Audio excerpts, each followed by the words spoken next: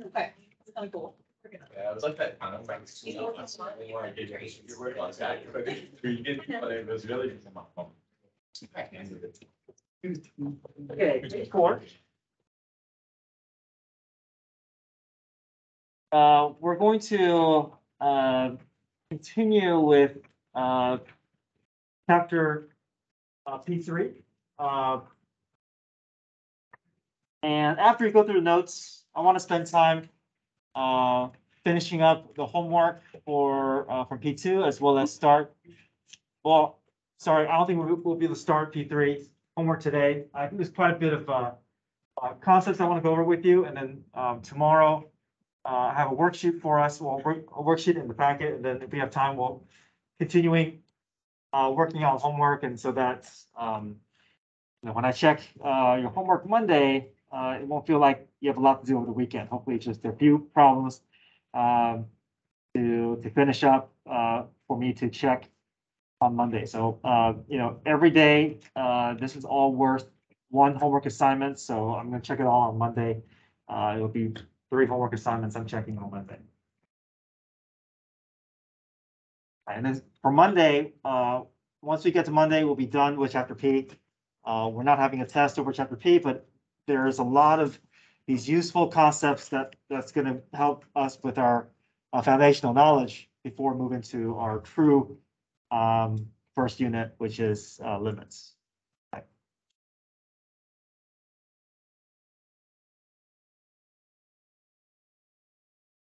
Okay, so, uh, let me just read through some of these notes here. Domain, domain is a set of all values of X where our function is defined. Uh, restrictions can vary depending on the function, the function type. The rational functions, radical functions, trig functions, they all have different restrictions. Um, and a lot of times, we don't have to look at the graph to find the domain. We can uh, use parent graph uh, information. We can um, use algebraic steps to find out where the restrictions are, and from there, determine what the domain is. Now, range is the set of all the y values uh, that exist for the graph. Now, with range, it's a little bit more difficult to algebraically figure out without looking at the graph. So typically, we need to look at what the, what the picture of the graph is before uh, we can determine the range. But sometimes, uh, if we use transformation and um, if we know knowledge about parent graph, sometimes we're able to determine what the range is, how far high and how far low the graph stretches um, to find the range without having to graph it. But usually, uh, range requires us to look at the graph first.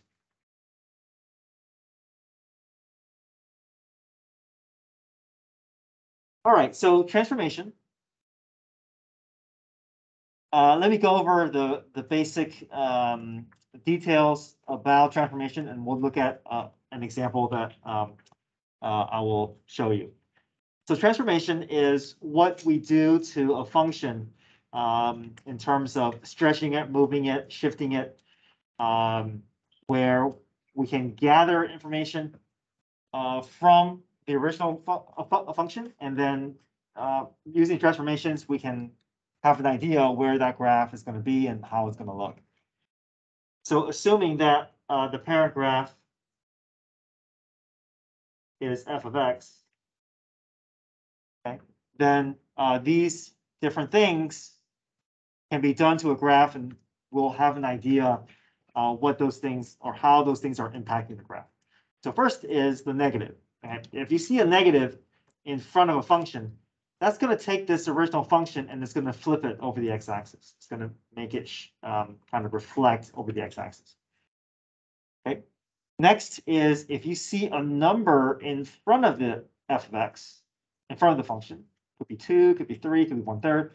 That's gonna take, what, what's gonna happen is it's going to take that function and it's gonna either stretch it vertically or it's gonna compress it vertically, okay? The graph is gonna look, the shape is still look the same, but it'll look like a, like a wider version of it or a more narrow version of it. Next up is that is if I have a value inside the function that's being added or subtracted, that's going to take the graph, the parent graph, and it's going to shift it either left or right. Uh, but it's a little bit counterintuitive because um, if we go left, we're gonna see a positive sign. If we go right, we're gonna see a negative sign. And that's, the reason why that's counterintuitive is we usually associate right with positive and left with negative, but everything inside the parentheses is kind of opposite. So if you see a plus sign, if you see plus two, that's gonna shift this parent graph left two units. If you see a minus four, that's gonna shift the graph to the right four units, okay? And finally, um, if I have a value that is completely outside the function, it's gonna take the graph and it's gonna shift it up or down. Now, shifting up and down is more straightforward. If you see a positive number, that's gonna shift the graph that many units up. If I see a negative number, that's gonna shift the graph down.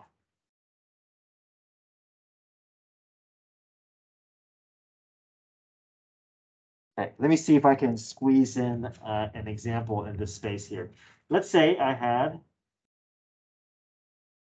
y equals x squared. That's a parent function.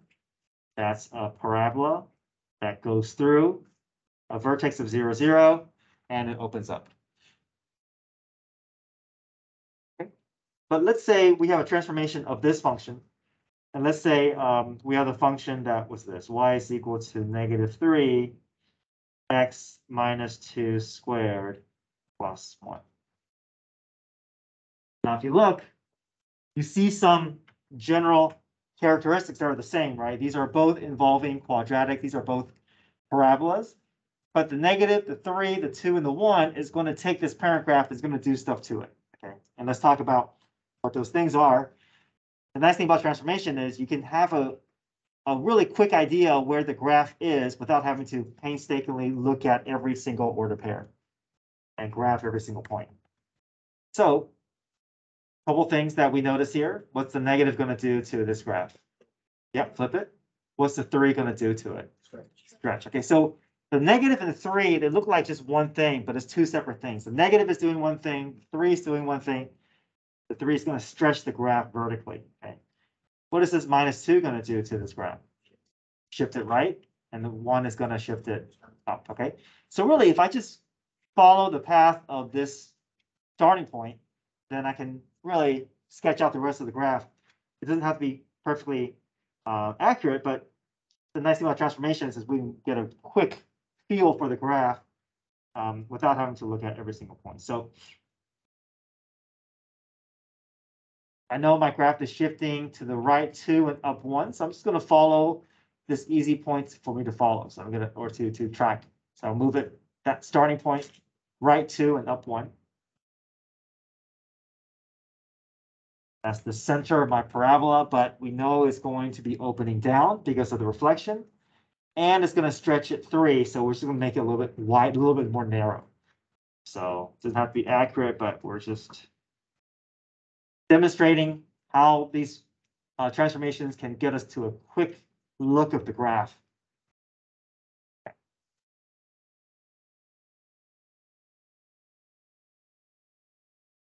Okay, any questions with that? That's just a, a quick example of, of how we can apply transformations um, and get, get a ballpark uh, picture of the graph.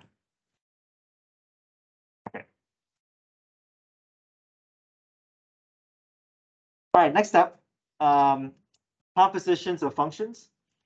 Uh, this is where if we insert a function into another function, um, we can determine the domain but we want to determine domain before simplifying. So let's go ahead and practice finding the domain of these functions. Okay, so first is three x squared. That's a parabola that opens up. We know the graph is going to stretch infinitely to the left and to the right without a break. So we know the domain is negative to positive infinity, right? It's just basically a a, a more narrow version of um, of a x squared, but the domain will be the same.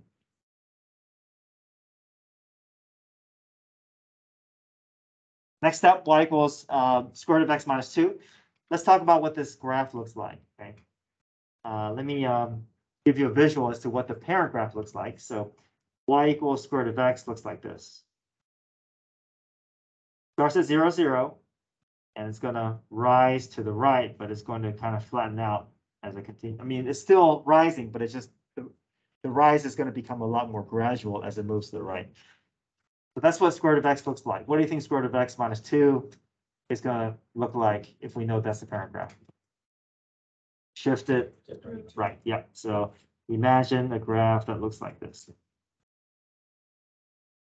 So we have a quick view of y equals square root of x minus two. What's the domain of this function in red? Two, two. Two. Yep, two to infinity. It, does it have, does it, uh, is it bracket or parentheses at two? Bracket. It actually reaches that point, so we're gonna include that point in our domain, so two to infinity.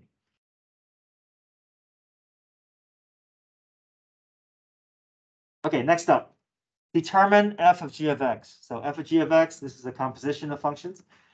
What we're doing is we're inserting the g of x into the f of x. So g of x is the inside function. We're gonna insert into the outer function. So what we're gonna do is that g of x, I'm gonna circle what g of x is, that's the square root of x minus two. I'm gonna insert this into the f of x function. So what, the way we do that is, we're gonna insert this into the x of the original function. Sorry, of the outer function. So wherever I see an x for the outer function, I'm gonna remove it, and in place of it, I'm gonna put this g of x, the root x minus two. So this is what our function looks like.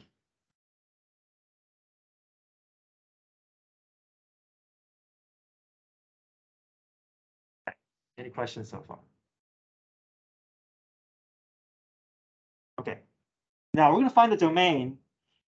But we're gonna find the domain before simplifying, okay? If I simplify this, then it'll just become three times x minus two, and I really lose the restriction that's part of this function. So we're gonna focus on the domain at this point in time. Now, the domain of this is gonna be the, the, the more restrictive of the two domains. And we see that, um, the more restrictive of two domains is, domains is from two to infinity. Because if I insert any number less than two, uh, that square root is gonna give us an issue, okay?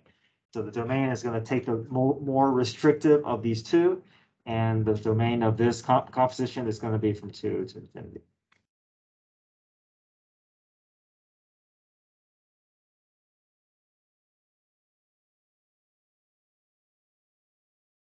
Let's skip number two for now, and let's go to the back page.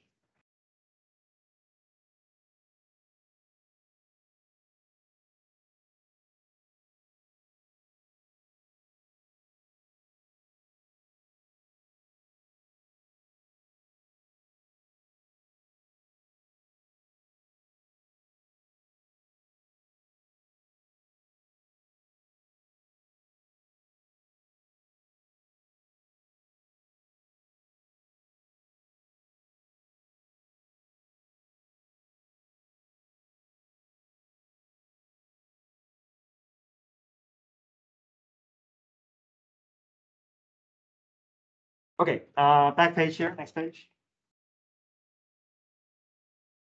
Uh, we talked about, uh, symmetry, about the y-axis, symmetry about the origin. Uh, here's just another, uh, way of saying it. Um, uh, symmetry about the y-axis is considered an even function. Symmetry about the origin is considered an odd function. So, um, the process is the same, it's just, it's worded a little differently here. Even function is where if I replace every x with negative x, can I make my way back to the original function? So, um, we did that on the first day. Let's continue with that. Step here. So if I want to test for symmetry, typically, uh, a good candidate for an even function is one where you have an even power. It doesn't mean that every even power is an even function. But um, those are just um, the, uh, the easier candidate for us to kind of um, have an idea where to, where to go. So I see the x squared, I think that's a good candidate for even function. Let's test it out to see if it is truly a function that's symmet- symmetric about the y-axis. So I'm gonna take every x I see and replace with negative x. That's what this is saying. Replace every x with negative x. I'll replace of x with y just so I can have it as a function, um, that's more recognizable. I And am I able to work back to the starting equation? Yes, good. So that's easy one here. Therefore, we're able to fulfill our condition, we're able to get back to our starting point. So therefore, um, f of x is an even function.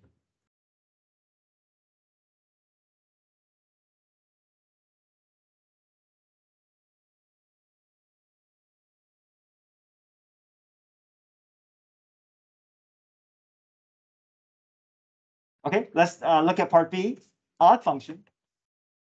So the rule says replace every x with negative x, but the end result is going to be the negative version of the original function. So um, I feel like the more, uh, the way that we did it before is, is maybe easier to think about. What that means is uh, replace x and y with negative x and negative y. And then see if that will go back to original.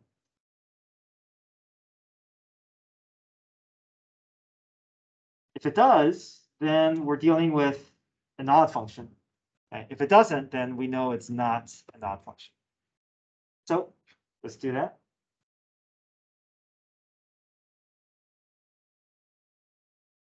I'll replace the x's with negative x. I'll replace the y with negative y. I want to see if I can make my way back to our, to the starting point.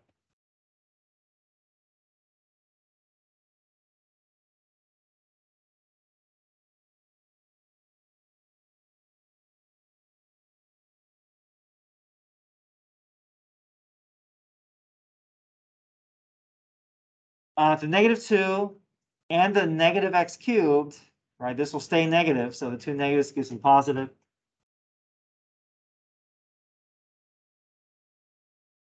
Not exactly the same yet, but what can I do to further test it out? Yeah, divide or multiply by negative one.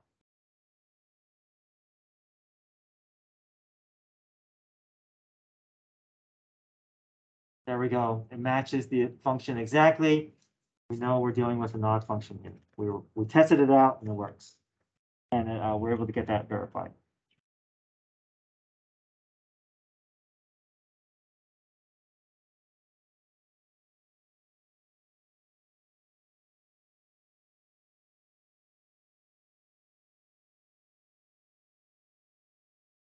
So usually, um, it's not, there's some exceptions, but usually if all of your powers are even, then chances are um, it'll end up being an even function. So if you look over here, x squared has a power of two. Five has a power of what? X to the, not one, but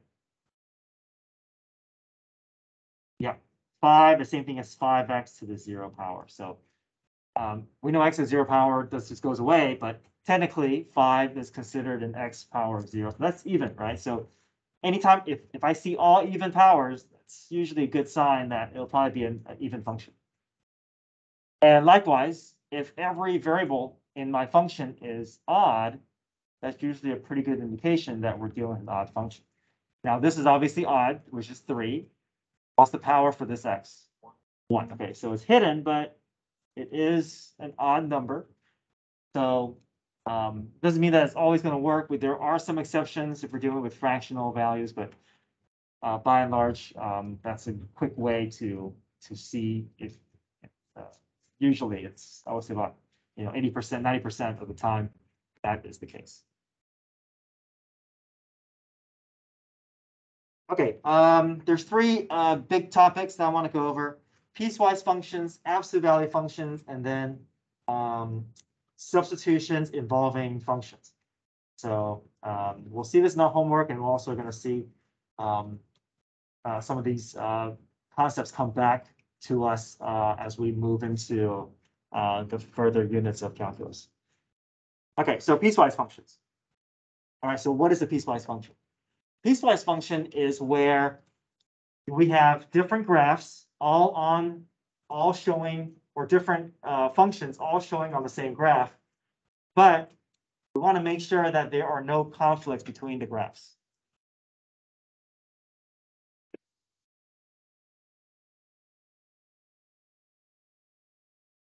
So for instance, show uh,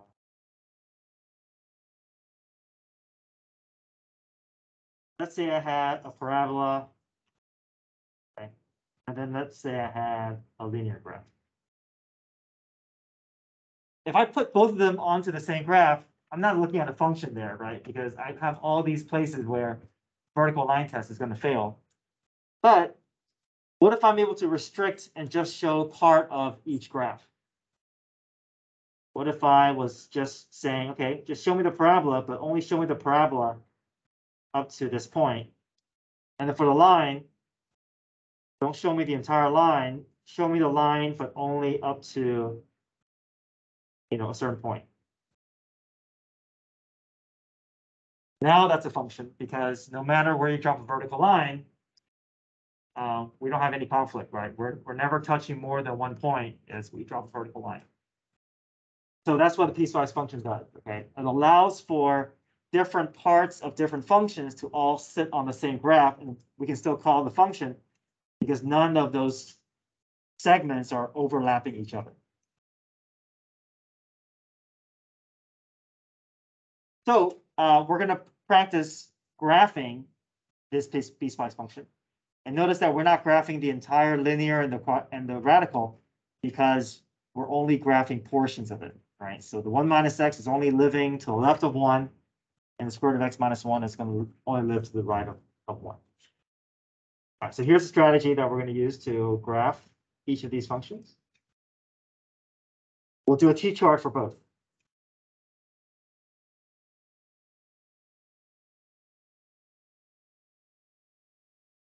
We'll tackle the one minus x first. Now, I only want to show the one minus x when x is less than one. So what are some values less than one? Zero, negative one, negative two, okay? So we'll, we'll start there, zero, negative one, negative two. But here's the thing that I want us to make sure that we do. Even though you see the word, even though it's less than, which means that this graph is ever gonna touch one?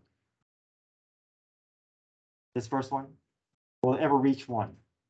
It won't, right? 'Cause- but, but it will get infinitely close to it. So we still want to graph this point. But just understand that there's a hole at one. Okay. So what I mean by that is we still want to include one. I think the natural tendency is we, we just say to ourselves, well, if it's less than one, I'm gonna start at zero. But if you're starting at zero, that means you're, this whole gap from zero to one, that needs to be included that you're not including. Right? So we'll, we'll put a one here to indicate that we are getting as close to it as possible. We don't have to fill in the, the circle. We can just call it a hole for that point. Okay, so this should give us an idea how the graph's going to look. We know it's a linear graph. So I'm going to insert 1 in for x and find out the y value there. So 1 in for x, 1 minus 1 is 0. 1 minus 0 is 1. 1 minus negative 1 is 2. And 1 minus negative 2 is 3.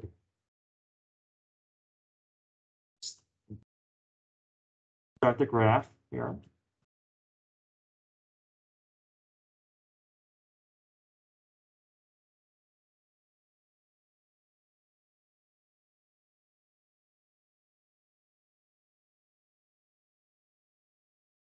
I, I know that I'm getting close to one, but I'm never reaching it. So I need to make sure I graph that point and put an open circle there.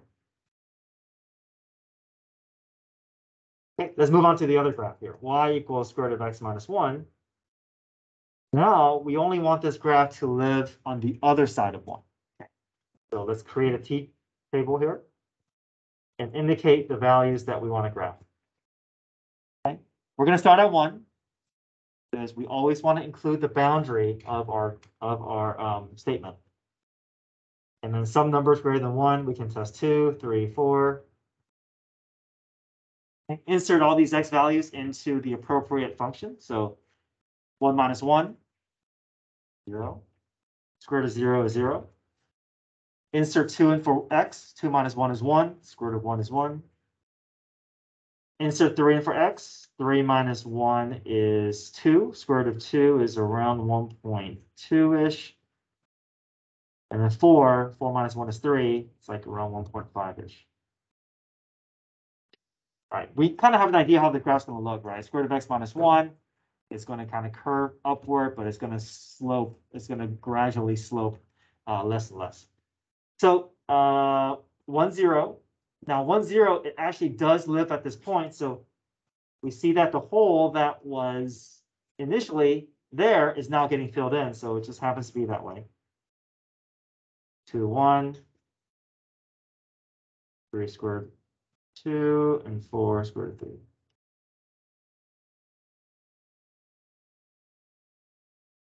Now, it's not guaranteed that every piecewise function is going to fill in the hole, it's just that's just the, the way it, it happened to, to be. We're just gathering information and plotting whatever the graph's supposed to look like. Okay, so now that we have the graph in front of us, we're gonna find the domain and the range. We're gonna look at this as one, uh, function. And what is the overall domain of this picture here? Negative to positive. Next to positive, right? There was a hole here, but it's getting filled in very nicely with, uh, with a, a- a second function, so it doesn't end up looking like there's any, any breaks in terms of the x value. So domain is all real numbers. Now, range is talking about y values, range is talking about how low the, uh, does the graph go and how high does the graph go in terms of the y value. So what's the lowest y value that you see overall on this graph? Zero. Zero, okay? And how high does it reach? infinity. Infinity, right? These both arrows, both these arrows are going to infinity. Um, but we should need to track one of them. And that's gonna take care of everything above the x-axis. So zero to infinity, we always put parentheses around infinity, but for zero, we're gonna put bracket. It actually does touch the x-axis, so we need to um, indicate that. Okay, uh, let's look at absolute value functions. Absolute value function.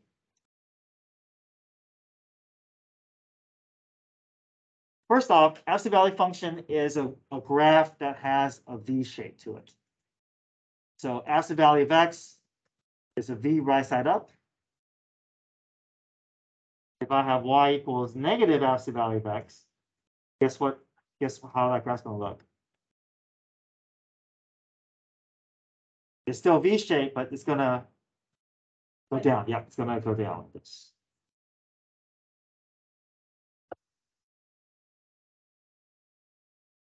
Now, absolute value function kind of has its own rules, uh, and it's a little bit cumbersome to work with.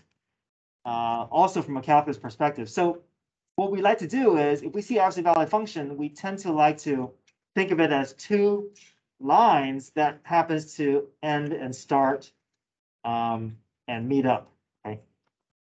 So we can think of a absolute value function as a piecewise function. Let me just give you a, a quick visual here. So imagine I had two lines. okay? A line with a positive slope and a line with a negative slope. Now, we can tell that this is obviously not a function, right? You have these two lines that are overlapping and vertical line test is gonna fail. But what if for each line, I'm able to restrict it? So let's say for this line here, I only wanna show uh what's on to the left of zero. And I'm just gonna restrict the graph and only show to the left of the x-axis or the y-axis. And then for this graph here, let's say I'm only gonna show a portion of the line that is to the right of zero, so I'm gonna get rid of this piece. And the resulting shape is an absolute value function. So we're basically, we're taking two lines, restricting it and making it so that it looks like the absolute value function. Because it is, we can basically call this a, a, uh, a- a substitution for an absolute value function. And the reason why we want to do this is because it's a lot easier to work with linear functions than it is with absolute value. We're gonna do things with the, uh, uh, regular function like derivatives and integrals, and it's a lot easier to play with polynomials than it is to, to have a, uh deal with the absolute value function. So let me talk about, uh, how this graph is created using the rules here. So what we do is we say, okay, I'm gonna rewrite this over here. Y equals. We know, uh, how the graph is already gonna look. It's gonna be right side up. Now, there's gonna be a positive version of it. And that's gonna live to the right of zero. So we say X is greater than zero. That takes care of that branch. Now, there's also a line with a negative slope. So we say negative X to talk about this part of the graph. But this line is not extending forever, right? It's only getting up to that zero. Uh, but it's only living to the left of zero. So we say X is less than Okay, now there's one piece missing, and that piece is what's happening at zero. I need an equal sign, so where do I put the equal sign? The first piecewise or the second one? Okay, so here's the thing, it doesn't matter which one you put it on, as long as you put it on one of them, that's good enough. So I can put it with the first one here, or I can put it with the second one here. They're both meeting at the same point, so as long as you tell one of them to define at that point, you're good. Um,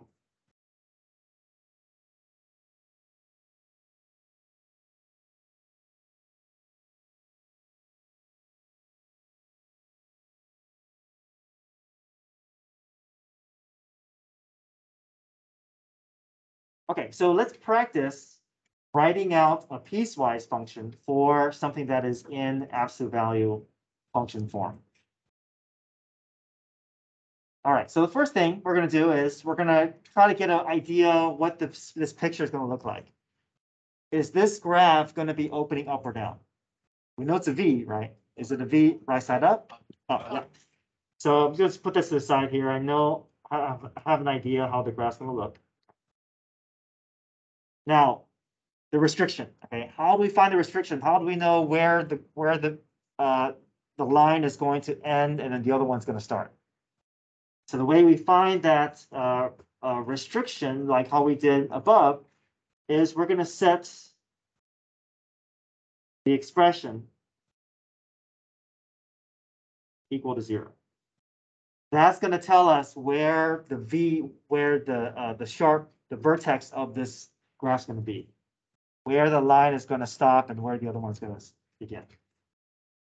So we'll set two x plus six equal to zero. Solve for x. What's x equal to? Negative three. So we have an idea how the graph's gonna look. I'm just gonna do a really rough sketch of it. I know that at negative three, the two lines are gonna meet and the V is gonna be formed.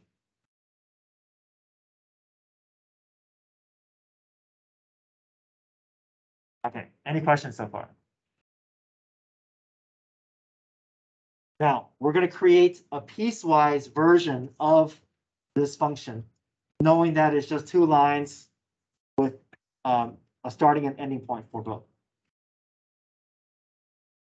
So squiggly to indicate that we have two functions to deal with. So the two functions are easy to, uh, to find.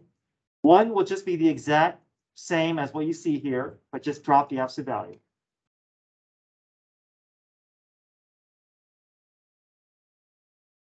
Now, this two x plus six, is this talking about the graph, this line to the right, or is it talking about the line to the left? The one to the left. Okay, the hint is here. The hint is the two. What is that? Two is the what? Okay, uh, but what does it mean though? It's slope, slope, right? It's a positive slope. If you look at this graph here, we always read the graph from left to right. We see the positive slope is to the right of negative three. So that tells us this branch is talking about the branch to the right, so we say greater than negative three. That means to the right of negative three. We want this two x plus six to show up on the right side of that vertex. So the one on top is the one to the right. So the one here is the one to the right, yeah. Okay. Okay. But I'm saying the one we put on the top of the, the brackets. Uh, yeah, that's right. Okay.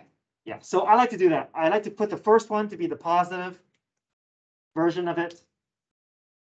Now, the absolute value also has a negative version of that expression. So it'll look like this. Basically, you just put a, replace the absolute value with a set of parentheses.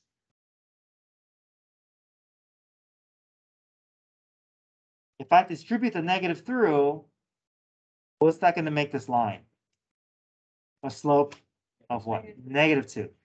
And we can tell that negative slope is gonna be on the other side of that negative three, so we say x is less than negative three, or to the left of negative three. We want the the line with the negative slope to be on the left side of negative three, we want the positive slope line segment to be on the right side of negative three.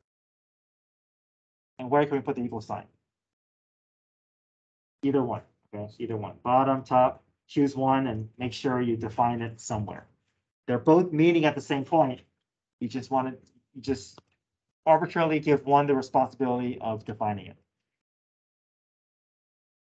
Yes, So the second one, requires something this to be. that's right. The second one would have a minus of the negative six, because if I were to.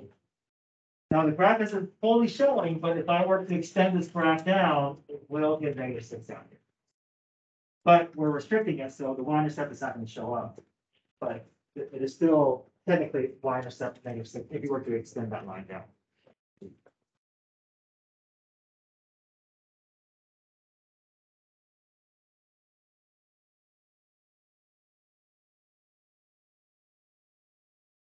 Okay. I have a blank page on number, on page six, and I want us to explore something here.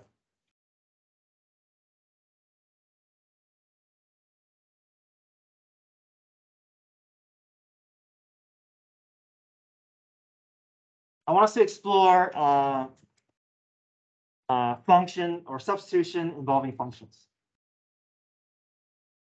Let me start off with an easy example, have you guys uh, make some observations about this.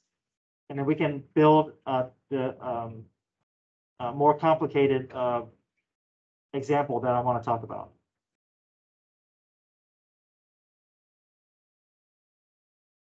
Okay, let's say I had a function three x minus five x squared minus two.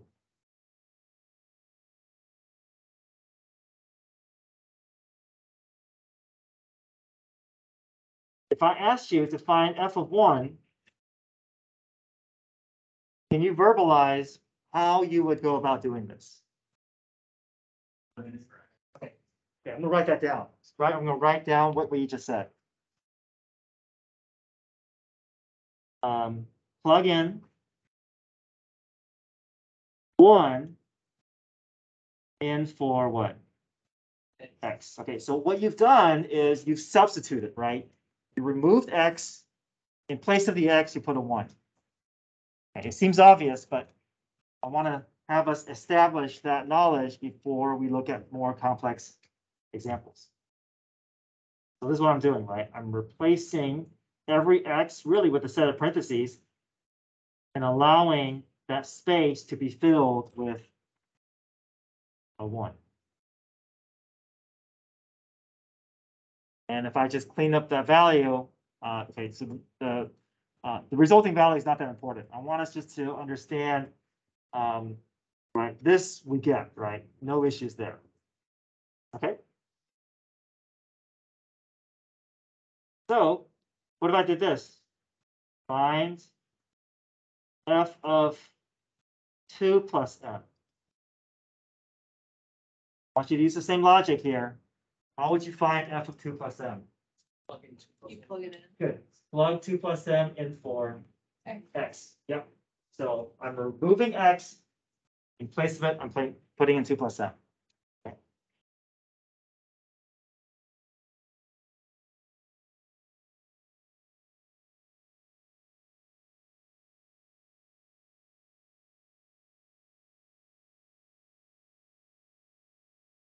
Okay. it's more complicated, but the concept is the same, right? We're- moving something and then we're putting something in place of it. Okay. So this is what I want us to be able to do here.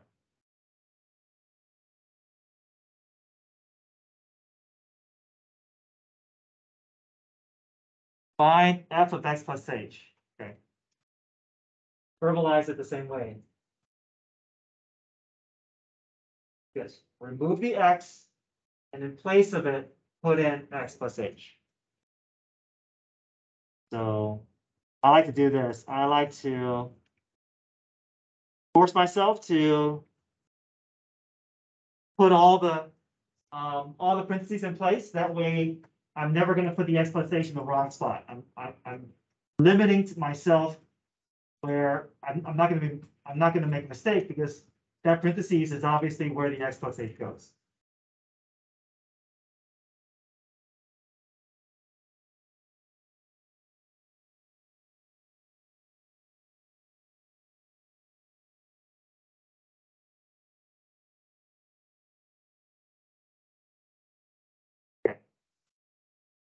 Are okay with this? Okay, let me do one more. Let me, let me do one more type of example here. And see if you guys can follow this, uh, same logic. Now, let's say I had a different function.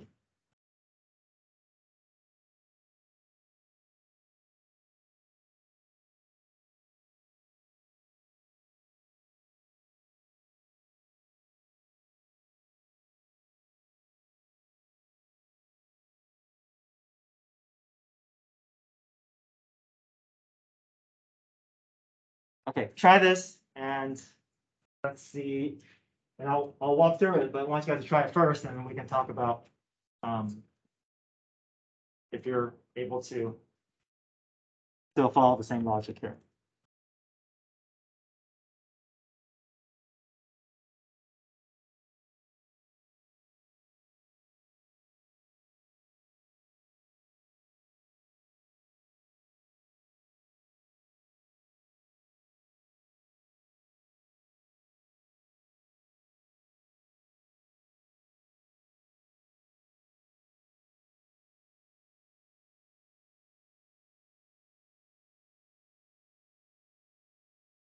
So someone want to say what they got?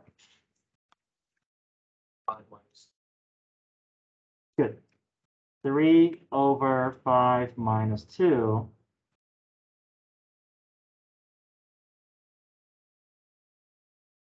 Right, good. So hopefully that makes sense, because this is what a lot of students have done in the past, where if I ask for f of x plus h, they would write it this way.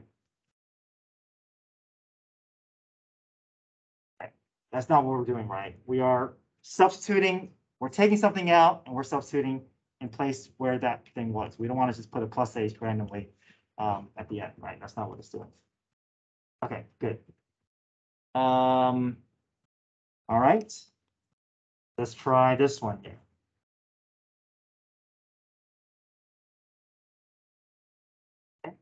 Same concept, but now we're going to be kind of expanding what we're going to be doing here find a value.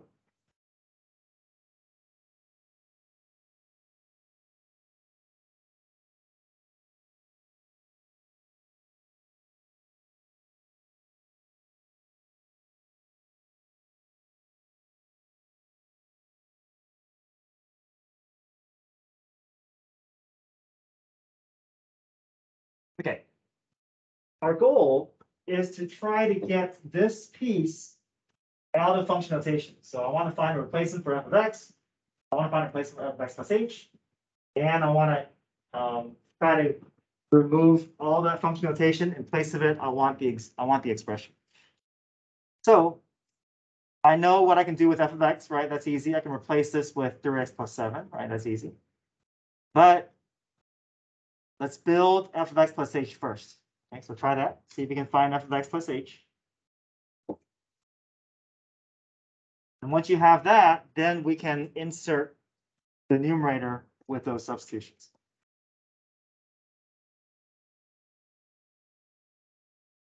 So if f of x is 3x plus 7,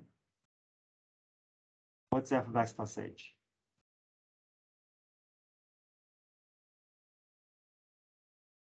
Okay, not quite, okay. f of x plus h is not 3x plus 7 plus h. We gotta go through the substitution, right? It's three X plus seven in parentheses. So let's go back to what we were talking before, right?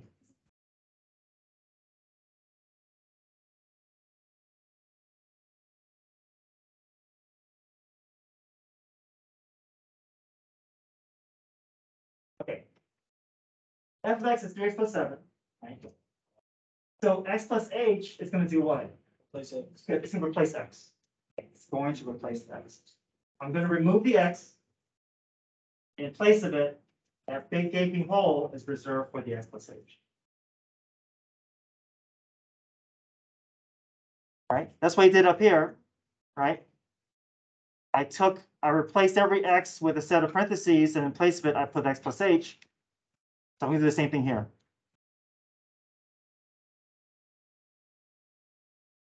Right, I know the natural tendency is you want to add that plus h somewhere else, but the x plus h is going to replace the x of the original function, right? You're removing something and then you're putting something back where that thing was. Does that make sense? Okay, so now, if I want to build this entire expression, I'll put this piece here and I'll put this piece there. Okay, we'll pick this up tomorrow. Um, you guys can get your phones.